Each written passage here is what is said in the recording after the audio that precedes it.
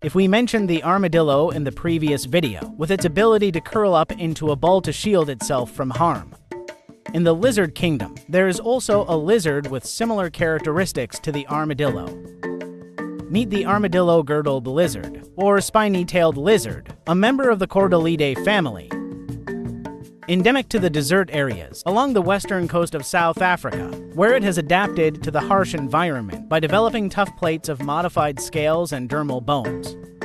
Similar to the anti-predator strategy of the armadillo, when threatened, the armadillo lizard curls up into a ball, exposing its spiny tail and its thick scales on its back, or bites its own tail.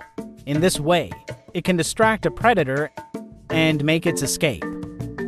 The armadillo-girdled lizard can reach up to 30 centimeters in length, with a prehensile tail that can add an additional 20 centimeters.